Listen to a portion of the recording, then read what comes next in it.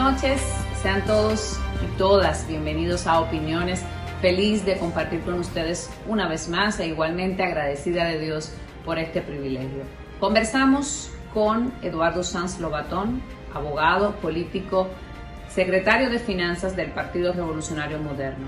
Con él conversaremos, por supuesto, de muchos temas, pero sobre todo de la agenda política nacional a propósito de las decisiones y las señales que va enviando ya el presidente electo Luis Abinader. Igualmente, en nuestros segmentos estelares complementaremos con informaciones puntuales, certeras y de mucho interés relacionadas con este tema. Quiero aprovechar e invitarles a seguir nuestras redes sociales arroba Lenis García G y arroba Lenis Opiniones. Acompáñame.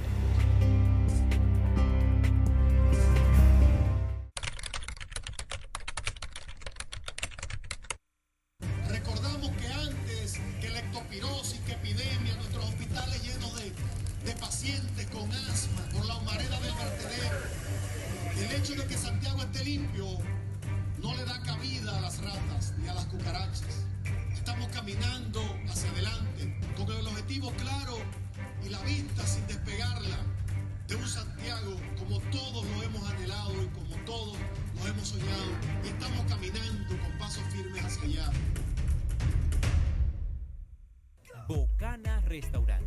Un espacio que lo tiene todo. Playa, comida, bebida y buen ambiente.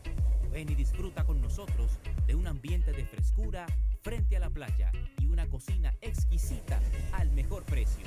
Estamos ubicados en la calle Abraham Núñez número 24, Boca Chica, Bocana Restaurant, un paraíso cerca de casa, donde tu sonrisa le da sentido a nuestro día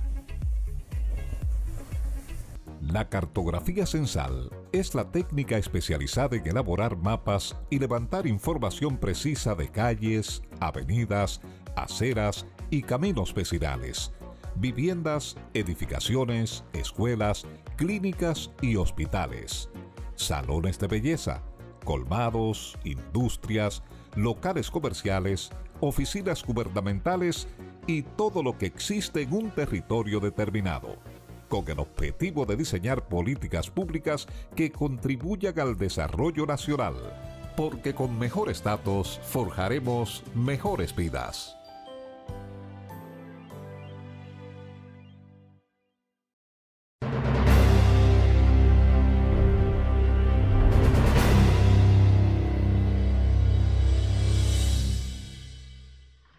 Buenas noches, Eduardo Sanz Lobatón con nosotros en Opiniones. Siempre es un privilegio conversar contigo, Eduardo. Bienvenido y buenas noches. Hola, Lenis. Un placer estar aquí con todo tu equipo y a tus órdenes. Eh, nos une una vieja amistad, o sea que un grato placer. Gracias, igual. Bueno, eh, la pregunta obligatoria, muchos años de lucha, de esfuerzos que me constan conozco tu trayectoria, de hecho fuiste profesor mío también, no quiero decir que te, que te cuenten los años, ¿no? Pero eh, muchos años de esfuerzos que se ven ahora coronados con el triunfo del PRM, de hecho en primera vuelta, y me gustaría saber cómo recibe Eduardo Sanz esta victoria de su partido, cuál ha sido tu lección y tu mayor aprendizaje de este proceso. Pero Lenis, yo primero con mucho optimismo, con mucha esperanza y alegría.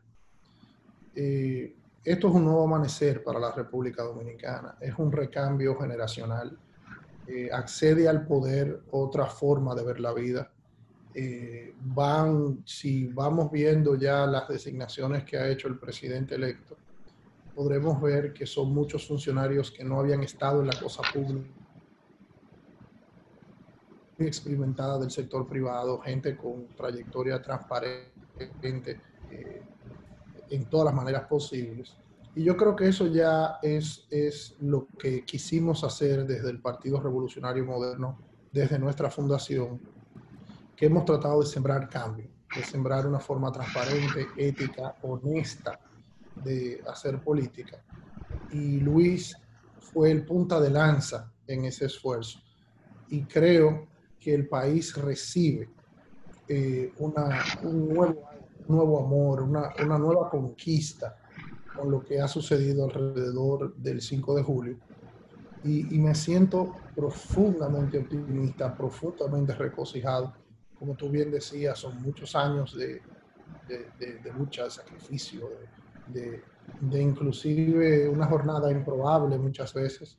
Yo recuerdo que cuando fundábamos el Partido Revolucionario Moderno, eh, la gente no nos creía, nos decía, pero si se van del PRD, ¿cómo van a lograr el poder? Una serie de situaciones que definitivamente son muy, eh, son muy, eh, eran muy difíciles, eran muy improbables verla en ese momento y ver todo esto cristalizado hoy eh, un sentimiento de deber cumplido y, de, y de, de, la satisfacción del trabajo bien hecho, que no siempre se cristaliza. En este caso se cristalizó. Y yo estoy convencido de que ahora viene lo más importante, que es cumplir. Claro. es eh, justificar las esperanzas que la gente ha depositado en nosotros. Con el poder vienen grandes responsabilidades de cómo actuar, de cómo ser, de cómo trabajar. Y definitivamente, eh, yo tengo la impresión de que Luis eh, eh, representa todo eso y así vamos a funcionar. Eduardo, por lo que escucho, estás muy consciente de las responsabilidades que tienen. Los retos que ha de enfrentar este gobierno son gigantes, producto de la pandemia, del momento que vivimos en el ámbito local e internacional. ¿A qué le temes? ¿Cuál sería tu temor de asumir gobierno con unas circunstancias tan difíciles para el mundo? Mira, eh, el poder, eh, para quienes lo hemos estudiado y hemos luchado por él, siempre viene acompañado de grandes retos, de grandes responsabilidades, de grandes tentaciones. Eh, la pandemia por la que atraviesa el mundo y en la que no somos ajenos, eh, nos conlleva que tengamos mucho cuidado, que seamos muy prudentes, que seamos muy frugales con los recursos económicos que vamos a manejar, porque las prioridades cambiaron. ahora la prioridad de la salud, la prioridad de darle apoyo y sostén a todo el sistema público de salud es fundamental. Yo estoy convencido de que los que perseguimos poder eh, lo hacemos para servirle a los demás en el caso de nosotros. No siempre es el caso, no siempre ha sido el caso en el pasado, pero ahora eh, cada tragedia, que son las muertes de cada ciudadano por este tenebroso virus, eh, son otro llamado más para luchar en beneficio de este país. Y te lo digo que con toda la humildad, y con todo el temple que requiere asumir esta realidad, nosotros lo vamos a hacer y vamos a enfrentar esta pandemia y vamos a tratar de instaurar desde el gobierno comportamientos humildes, comportamientos eh, con algunos niveles de, tranquilidad. Hay que sembrar confianza en la economía, en la salud, en todos los renglones de la vida. Y yo estoy convencido de que, de que Luis está preparado para eso y que está rodeado de un grupo de mujeres y hombres que, que así lo van a hacer. Qué bien. Eduardo, eh, hablamos de, de la pandemia, hablamos de cuáles son esas prioridades que de hecho las primeras señales que manda el presidente electo dan muestra de que sí está muy bien definida cuáles son las prioridades ahora mismo. El primer equipo que integra es el equipo sanitario, eh, luego el equipo económico, que son las dos prioridades, y también una primera designación a través de su tweet de la dirección de ética. Son mensajes muy claros y que a la vez son muy alentadores, muy positivos. Pero eh, ahora se ha solicitado un estado de emergencia. Eh, el PRM, a través de su presidente, ha declarado que apoya este nuevo estado de emergencia ¿Qué situaciones se han dado? ¿Qué ha cambiado? Que ahora sí el PRM apoya y está de acuerdo con toque de queda y con estado de emergencia. Bueno, Lenis, lo primero es que dejado el panorama electoral, ya no hay preocupaciones del tipo de los, el uso de los recursos del Estado, de las desviaciones propias de una campaña electoral. Y yo creo que ahora todos estamos centrados eh, en otras prioridades. Las prioridades ahora de nosotros son armar el mejor equipo de gobierno posible y las prioridades del gobierno saliente debe ser eh, propiciar esa instauración de las nuevas autoridades. Evidentemente, el virus del COVID en el mundo y aquí en República Dominicana sigue, sigue y entonces es sensato eh, recoger un poquito lo, recoger un poquito a la gente para tratar de controlar la espiral, la espiral de contagio. ¿Fue anticipada, ¿Fue anticipada la apertura económica o presionada debido a la contienda electoral? Mira, yo creo que no. Yo creo que evidentemente eh, esto es un fino balance que hay que establecer porque tampoco podemos eh, propiciar que se nos muera más gente de hambre que de COVID. Y la actividad económica paralizada al 100% eh, generaba calamidades económicas que a su vez generaban calamidades de salud. Eh, nosotros somos un país que prácticamente el 50% de nuestra población eh, trabaja en la economía informal, en la economía del chiripeo. Cuando esa economía del chiripeo se detiene por completo, pues eso genera eh, malnutrición en algunos hogares, genera hacinamiento en otros hogares. Entonces, yo creo que no. Yo creo que, que, había que generar algún tipo de apertura y que ahora el cierre que viene ahora con este nuevo estado de emergencia va a ser un cierre más moderado que el anterior, las, los horarios de toque de queda van a ser más moderados y yo creo que gradualmente vamos buscando una solución. O sea que yo no, no creo que, que haya que criticar la apertura. Evidentemente el proceso electoral era una prioridad para el país porque eh, nosotros teníamos que demostrarle al mundo que podíamos funcionar democráticamente luego de las suspensiones de febrero. Eh, hay que recordar que este es un país que vive mucho de la inversión extranjera, que vive mucho del turismo, y nosotros teníamos que sembrar la normalidad en nuestro funcionamiento.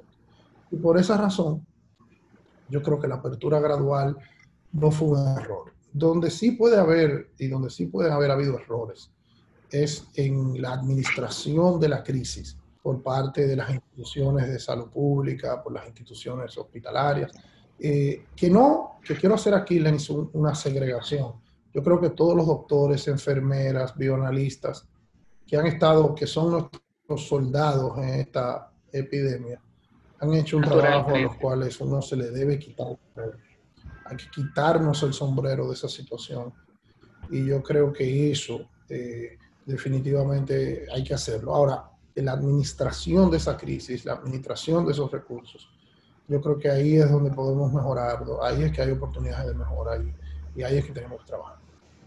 Eduardo, eh, incluso en, el, en la petición que presenta el Ejecutivo en el día de ayer, me parece, a, en esta semana, al Congreso Nacional, este, plantea el hecho de que fruto de las elecciones, de las actividades y de la apertura, pues tenemos un rebrote del COVID-19.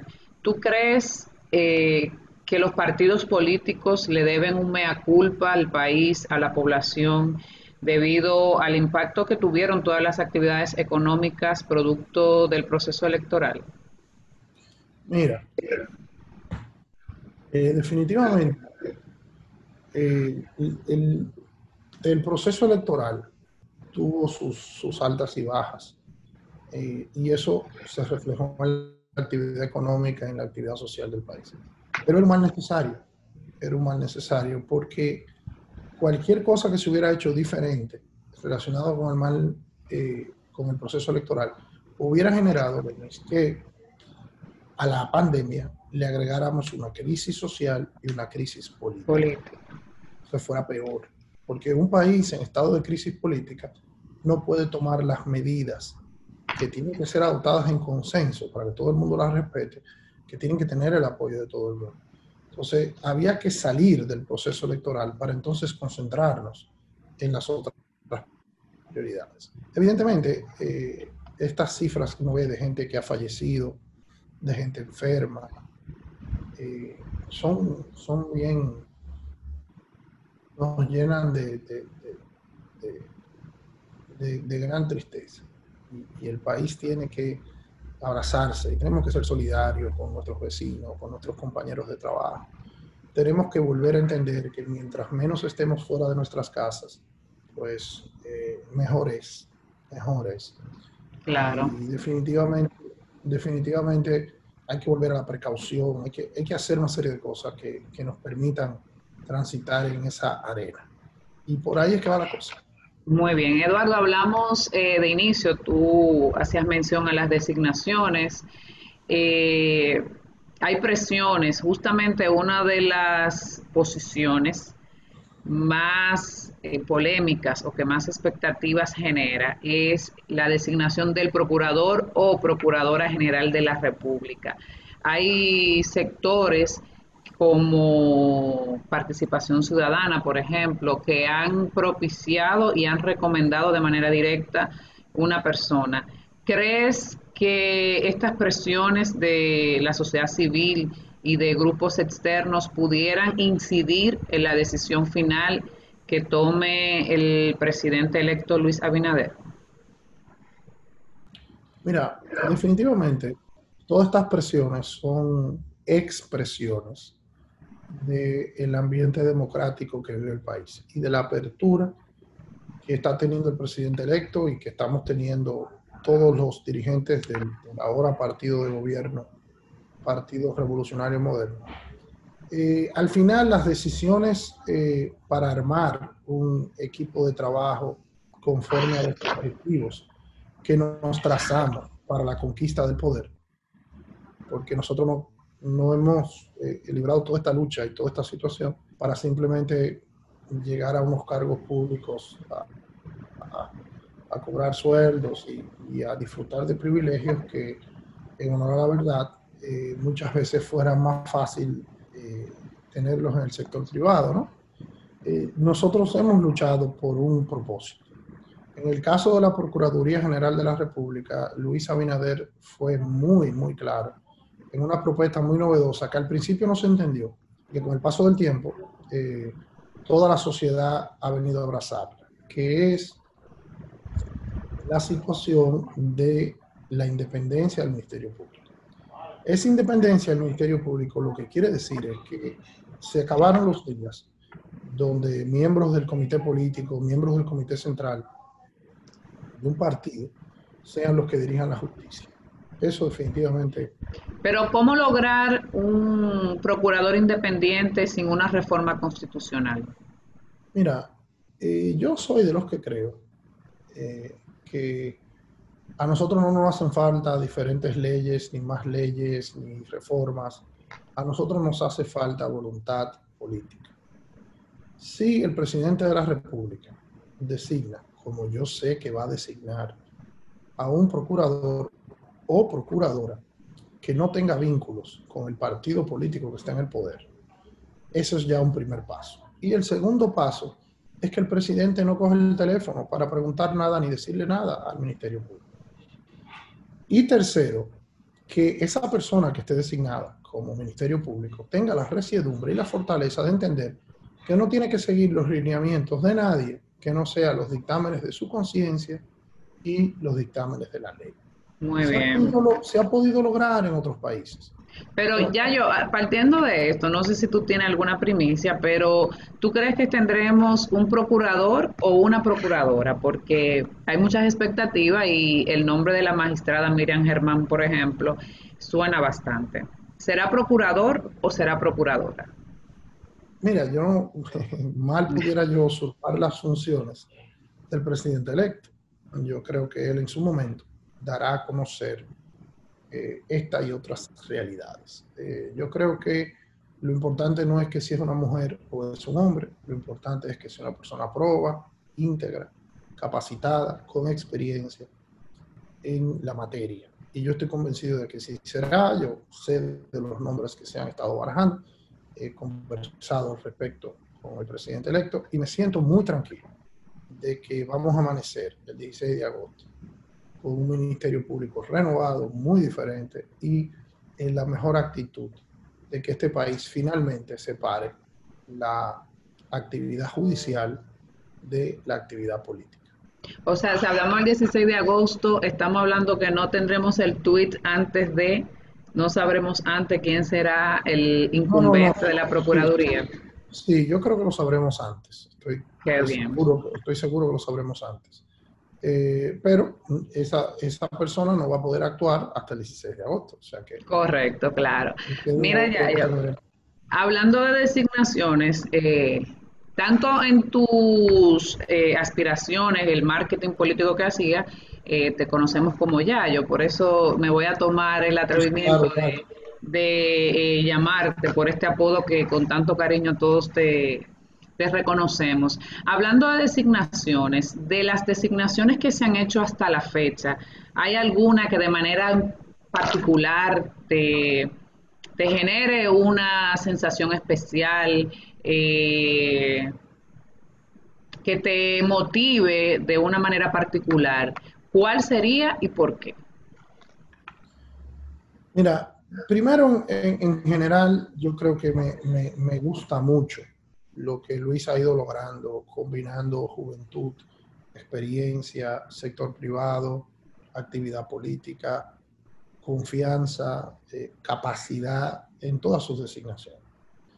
Evidentemente, por razones emotivas, la designación de doña Milagros Ortiz Bosch en la dirección de ética del gobierno, pues evidentemente eso es algo que a uno le hace tilín por dentro, porque uno sabe de la catadura moral de doña Milagros Ortiz Bosch eh, y eh, en ella y las demás designaciones eh, desde el presidente de nuestro partido que va a estar en el Palacio Nacional con, con, Luis y, y, todo lo que ha pasado con el equipo económico, Jochi, Alejandro, el mismo Lisandro, todos profesionales exitosos, expertos en sus áreas, gente que, que, el país los ha visto funcionar desde los más altos premios empresariales, desde empresas exitosas. Y eso eh, es algo que, que, deberemos poder eh, eh, celebrar como país. O sea que yo me siento profundamente satisfecho y, todavía faltan otras designaciones. quizá vas a tener muchos amigos y amigas en posiciones fundamentales, quizá tú misma bueno, yo, yo estoy segura de eso, de que muchos amigos, y de verdad que una de las cosas más positivas que valoro de este proceso, no solo eh, a nivel presidencial, en el nivel presidencial, sino congresual, como esa, ese relevo generacional por el que tanto hemos abogado desde nuestros distintos roles, eh, hoy, hoy se van dando pasos y ya lo vemos convertido eh, en realidad, ¿cuántos jóvenes, por ejemplo, acompañaron recientemente al nuevo canciller de la República? ¿Cuántos jóvenes lograron un, un, espacio en la Cámara de Diputados? Por ejemplo, vemos a Orlandito Jorge, que todos vimos a Orlando prácticamente siendo un adolescente y ya hoy convertido eh, en diputado. Eh, un Omar Fernández también, muchos eh, jóvenes de diferentes provincias que también lograron eh, dar este paso y eso nos llena de esperanza sobre todo de que como país vamos avanzando y es bueno que la juventud se empodere y, y asuma espacio, no por la juventud ni por cuota, sino por su sacrificio y por lo que pueda aportar. Ya yo tenemos que hacer una primera pausa. Eh, en breve regresamos con más de opiniones.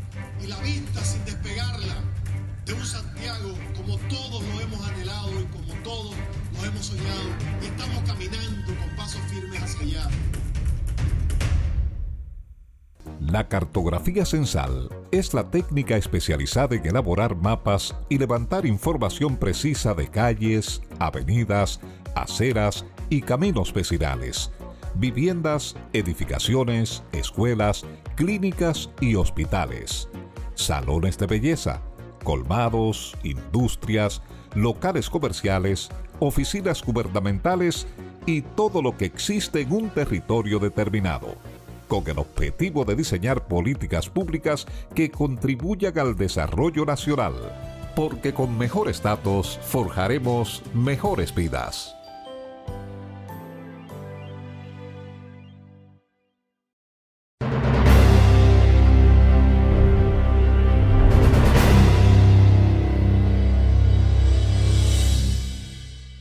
Continuamos conversando con Eduardo Sanz Lobatón, quien es abogado, político y secretario de Finanzas del Partido Revolucionario Moderno y futuro funcionario público, ¿no? A partir del 16 de agosto. Así que eso no me, queda duda realmente. Eduardo, yo quisiera, quisiera saber, tengo unas imágenes para mostrarte y me gustaría eh, que me diga qué, se, qué representa esta imagen para ti en el presente, en el futuro. A ver.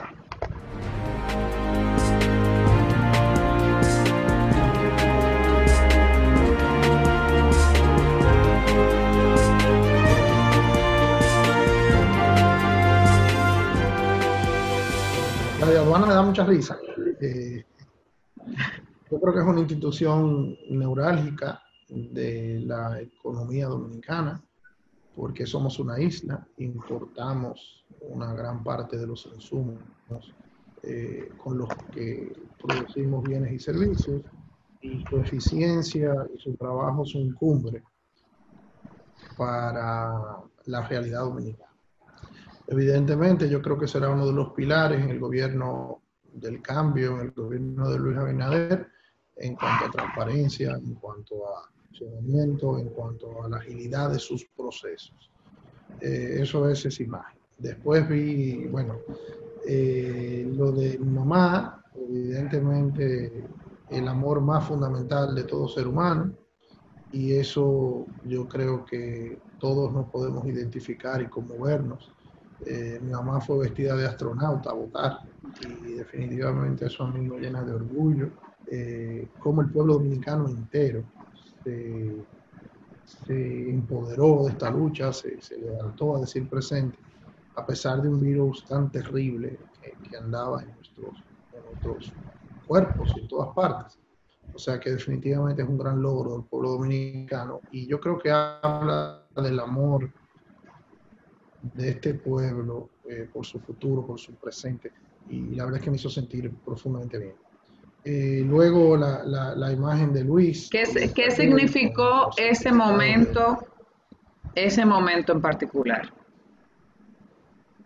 Mira, misión cumplida. Misión cumplida. Años y años de sudor eh, cristalizando ese esfuerzo y viendo eso.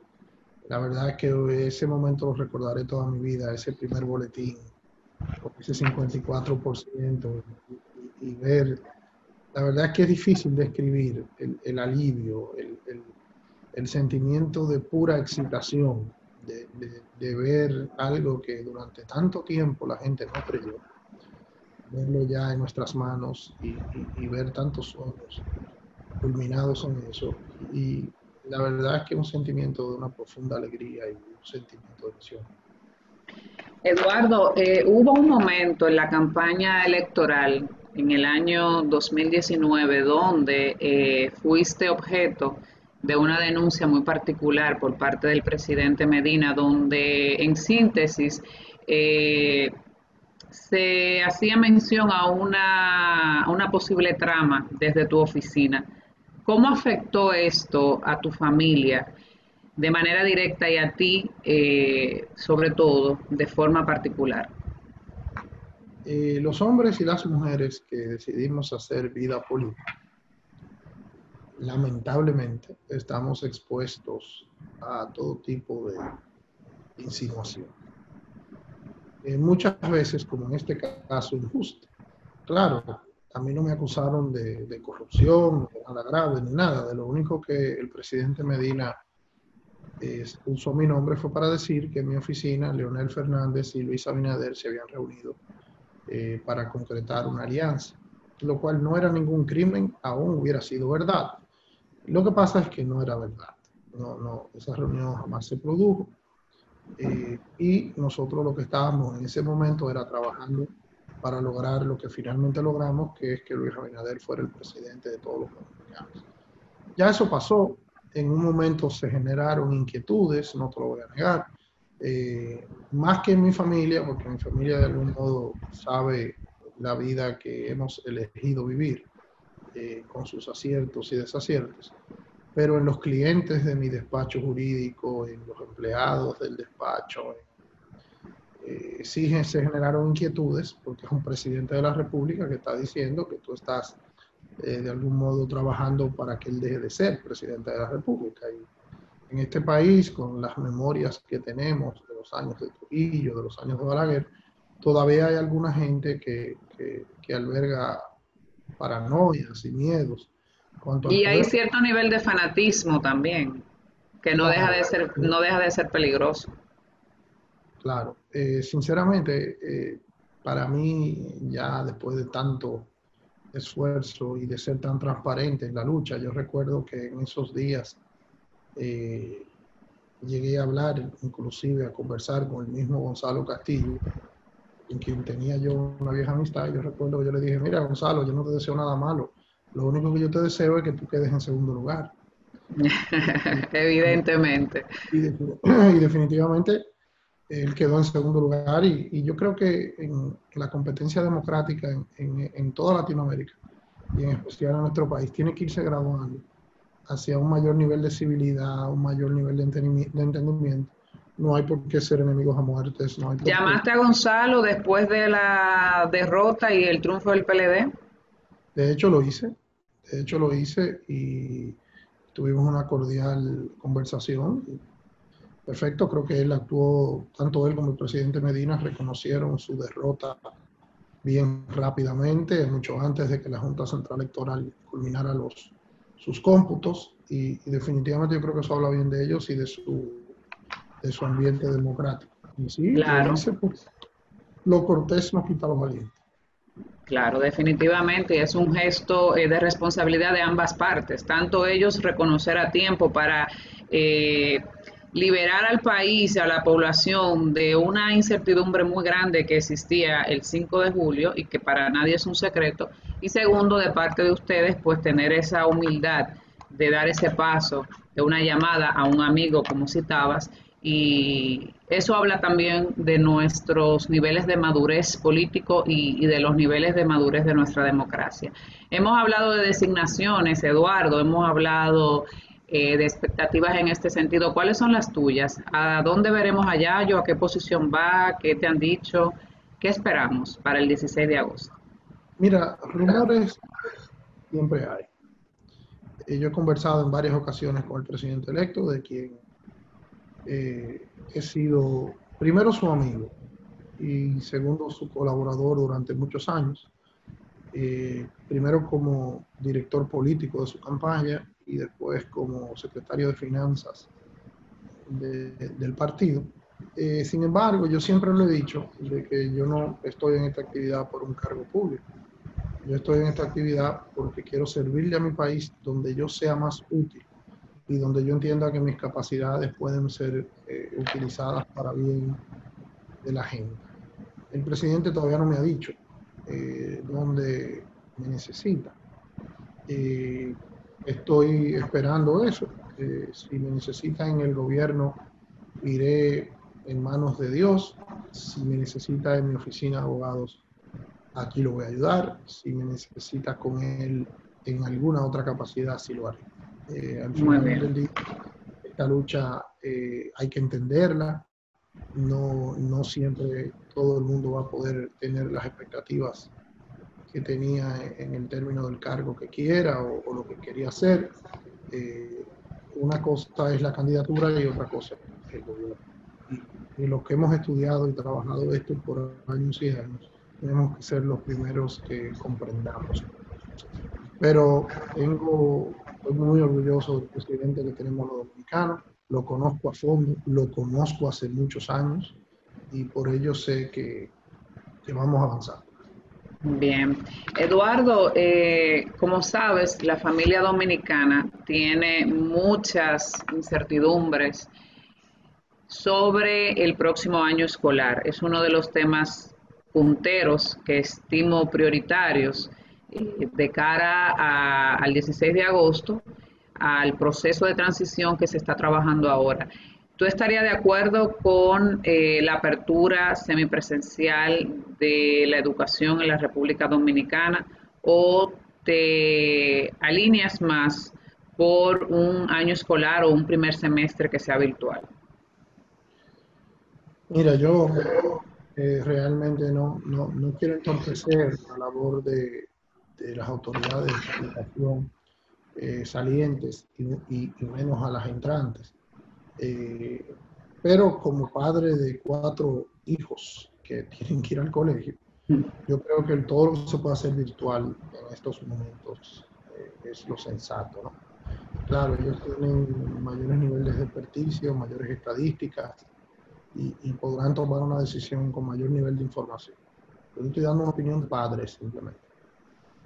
Así como, como hay sectores que propician eh, ciertos perfiles para la Procuraduría General de la República, los hay que proponen otros para el Ministerio de Turismo, y así lo expresó, por ejemplo, a Zonaores. Eh, ¿Crees que ellos se refieren a algún candidato, alguna persona en particular? ¿Y qué tanto se ha avanzado en este sentido? ¿Se sabe ya quién será nuestro próximo ministro de Turismo? Mira, no, no que yo sepa, me imagino que el presidente electo sí lo sabe. Y segundo, yo creo que estas opiniones de los organismos empresariales y los organismos de la sociedad civil son muy positivas. Yo creo que eh, son bienvenidas, creo que eso es parte del, libre juego de la democracia. Eh, eh, lo que sí tenemos todos que entender es que no son vinculantes porque eh, hay un proceso para la toma de decisiones de nuestro país, de las tomas de decisiones colectivas. Y ese proceso es que elegimos líderes eh, para que cumplan posiciones electivas que tienen atribuciones jurídicas. Y la Constitución de la República es muy clara para que el presidente de la República es que tiene que designar. Lo tiene que hacer el presidente de la República, no lo puede hacer eh, ningún organismo ajeno a, a a lo establecido en la Constitución. Y creo que eh, en ese sentido, eh, todos los que hemos luchado eh, para lograr esto, entendemos que la prerrogativa de las designaciones la tiene el Poder Ejecutivo, que lo dirige el presidente de la República. es muy lógica la preocupación de estos, estas asociaciones empresariales, porque el país y el sector turístico, que te lo digo con toda franqueza, es mi especialidad es donde he trabajado durante más de eh, 15 años, eh, está en una situación de, de gran calamidad eh, en el mundo entero. Lo primero que la gente reduce en medio de una pandemia es el ocio, es, es el viaje, es la diversión. Naturalmente. Y, y, entonces nosotros tendremos que buscar maneras innovadoras, maneras eh, diferentes para poder eh, trabajar y para poder hacer cosas eh, que nos eh, establezcan de nuevo como una potencia turística en el Caribe y en el mundo. Y creo que, Definitivamente. Creo que el gobierno de Luis Abinader sabrá eh, eh, eh, empujar los incentivos necesarios y yo estoy seguro que esas organizaciones empresariales van a ser consultadas eh, más que en quién dirige las instituciones relacionadas al sector, en qué planes deben aplicarse y cuándo deben aplicarse porque ellos tienen un know-how y tienen una, una gran, eh, un gran insumo de data que, que, al final puede ser muy interesante para los eh, sectores gubernamentales. Muy bien. Eduardo, ¿tú crees que en este gobierno se logre eh, que podamos ver más mujeres en los ministerios, más mujeres en las instancias de toma de decisiones. Eso sería un verdadero cambio. Que a la mujer se le dé el espacio y que podamos eh, tener mayor nivel de representación. Mira, Eh, primero, la pregunta contundente es que sí, que sí. La primera designación fue una mujer, en el caso de Doña Milagros. Eh, el vocero de Palacio Nacional va a ser otra mujer, que es Milagros Germán. También quien va a estar encargado de, del tema de la inversión extranjera es otra mujer, Viviana Rivera. Pero yo te voy a decir algo que quizá no está de moda, pero es lo que pienso. los seres humanos por ser blancos, negros, rubios, amarillos, mujeres, hombres, preferencia sexual, cualquier cosa, otra cosa que con lo que los querramos taguear. Eh, no es siempre lo más importante. Lo importante es su preparación, su integridad, su capacidad de servicio, su compromiso con lo bien hecho. Y esa debe ser la primera prioridad. A mí las soluciones cosméticas las cuotas eh, eh, que se han puesto tan de moda y que tienen razón de ser, porque es real que vivimos en una sociedad que, es muy patriarcal, que tiene una herencia machista, que, tiene una serie de, carencias propias de nuestra historia caudillista, que tenemos que corregir abriéndole las puertas a la mujer.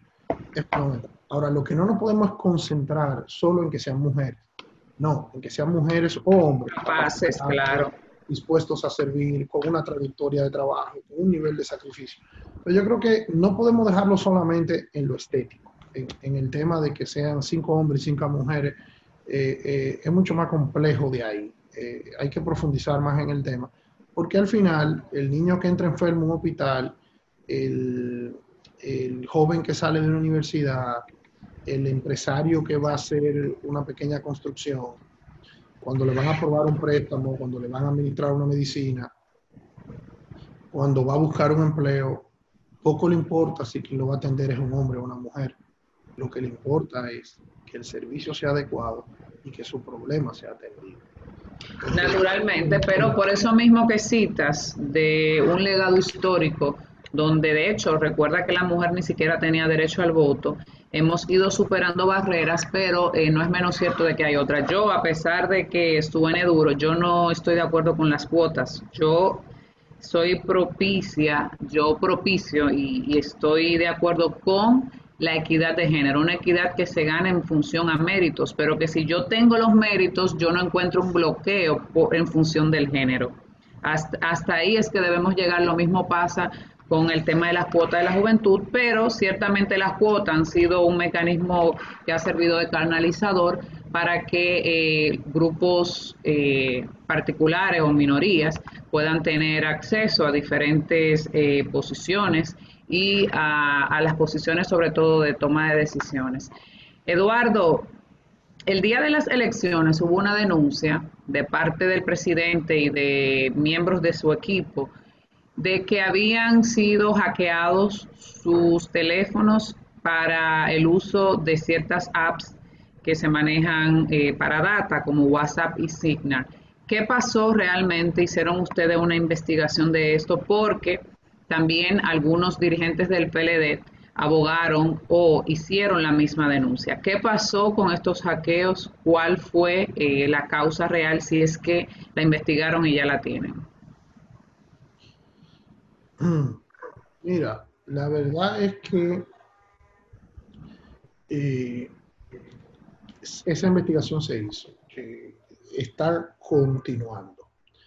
Lamentablemente aquí hay algunas personas que le encanta esto de los teléfonos y los espionaje, el sabotaje. A veces no es para intervenirte, a veces es para incomunicarte por par de horas. Y eso ha pasado varias veces. A mí me ha pasado eh, me pasó en las elecciones de febrero, me volvió y me pasó ahora en julio. Eh, y ya, se ha convertido en parte del deporte, evidentemente parte del reto que tendremos las nuevas autoridades, en especial quien finalmente sea designado o designada eh, procurador o procuradora de la República, eh, deberá investigar este tema de este tema de de las manipulaciones con la privacidad de las comunicaciones de, de, todos los dominicanos, porque lo que tú hablas por teléfono, lo que escribes por tu teléfono es tu más, tu más profunda intimidad. Y esa profunda intimidad eh, nos debe a todos llevar, eh, nos debe a todos llevar a una profunda preocupación. Y estoy convencido de que sí será. Y de que esas investigaciones van a llegar a fondo y de que habrá gente que tendrá que dar explicaciones eh, de todo tipo por el mal uso de algunos instrumentos que, que, que se usan para estas cosas. Pero al final no tuvieron resultado, eh, no, no, se logró nada con eso, no cambiaron nada. Fue simplemente una pérdida de tiempo y quien así haya querido obrar. Los bots, se habla tanto de que los usaban en campaña, eh, se le atribuyen mayormente al oficialismo que sale, eh, pero también algunos decían que todos los partidos lo usaban en su campaña digital. ¿Dejarán de usarse los bots en este nuevo gobierno del PRM? Mira, yo nunca los he utilizado. Como secretario de Finanzas del PRM, si lo hubiéramos utilizado, yo lo sabría porque eh, yo produje muchos de los pagos a suplidores de todo tipo de asesoría y todo. Nosotros no creemos en eso. Que a veces se produzcan eh, cosas de este tipo y se hagan cosas de este tipo, bueno, eso ya es incontrolable. Hay gente que... Pero nosotros de manera institucional y de manera oficial, eh, el bots es el peor insulto que tú puedes hacer en las redes sociales porque la gente, eh, la gente sabe lo que es. Y es... Yo te diría que eso... Y no creo, y mire, fíjate, ¿quién tenía más bots? ¿Quién tenía más publicidad? ¿Quién tenía más todo? ¿Y quién ganó las elecciones? O sea, al final no creo que, que, que por esa avenida se, se vaya a lograr grandes cosas. Eduardo, eh, uno de los temas fundamentales de la campaña eh, fue el fin de la impunidad, atacar la corrupción. Más que un tema de campaña, es como una especie de promesa de este gobierno. Hay sectores que incluso han amenazado en los medios de comunicación de que si para enero no hay gente presa, van a salir a las calles. Algunos piensan que podría haber eh, sometimientos masivos, persecuciones políticas, retaliaciones. ¿Qué nos puedes decir con relación a este tema? Mira, primero, todo el que conoce a Luis Abinader y conoce a los hombres y mujeres que lo hemos acompañado, eh, sabemos que nosotros no somos gente de retaliaciones ni de resentimiento. Nosotros tenemos los ojos en la parte frontal del rostro, no en la parte de atrás. Eh, nosotros queremos mirar hacia adelante. Sin embargo, el que incurrió en responsabilidades penales y en hechos delictuosos tendrá primero que responderle al pueblo dominicano, a, Dios y a su conciencia. Eh, y para eso nosotros hemos hecho el compromiso de que aquí va a haber un ministerio público en el cual no vamos a influirle.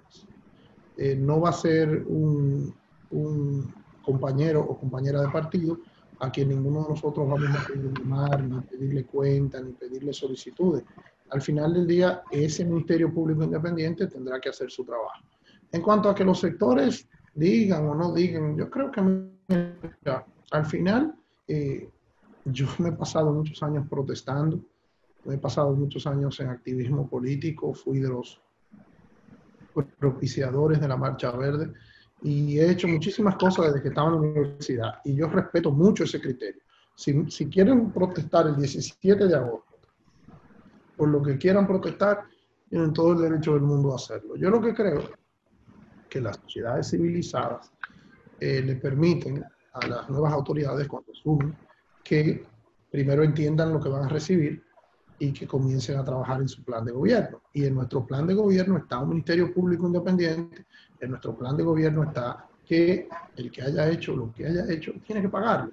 Entonces, eh, lo que no hay por qué tener alcarabía ni tener presión con eso, porque al final nosotros estamos en la disposición de cumplirle a este país lo que prometimos, lo que nos pasamos años diciendo. Y aquí cada quien tendrá que asumir su responsabilidad. Eh, yo por eso en la pregunta anterior, cuando me hablabas del gobierno, yo no sé si voy a servir directamente en el gobierno. Lo que yo sí sé es que voy a ayudar a Luis Abinader a hacer el mejor gobierno posible, desde cualquier ámbito. Y los que vayan al gobierno tendrán que entender que cuando usted administra una cosa pública, cuando usted administra dinero de la gente, usted tiene que dar cuenta por el dinero de la gente. Tan sencillo como eso. Si fueras a una posición, ¿cuáles serían los ejes fundamentales de la gestión que dirijas en cualquier institución que te toque?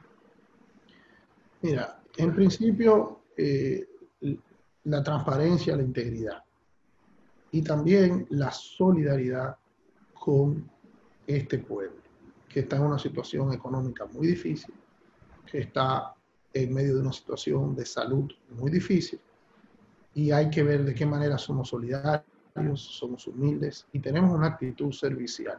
No siempre se va a poder decir que sí, es más, la mayoría de las veces va a tener que decir que no. Sin embargo, hasta la manera en la que dices que no, se puede hacer con amor, se puede hacer con solidaridad y se puede hacer con humildad para que la gente entienda que no es que no se quiere, sino que a veces no se puede. Entonces, eh, al final, eh, yo creo que ese es el plan. Eh, todavía no sé. Tú vas a ser de, las, de, los primeros en enterarte cuando finalmente yo sepa si voy a ir directamente al gobierno o si voy a colaborar desde fuera. y eso, entonces ya cuando yo sepa la base que voy a jugar, entonces ahí ya...